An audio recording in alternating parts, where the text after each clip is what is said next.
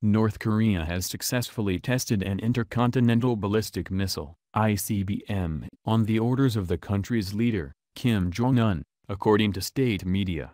The missile tested is capable of reaching Alaska.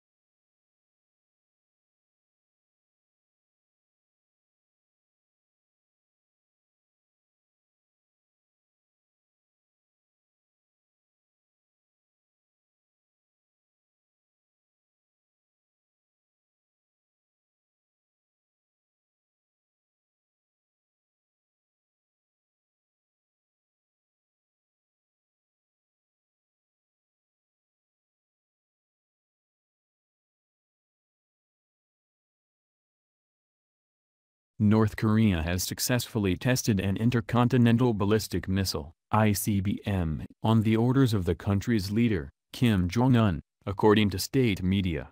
The missile tested is capable of reaching Alaska.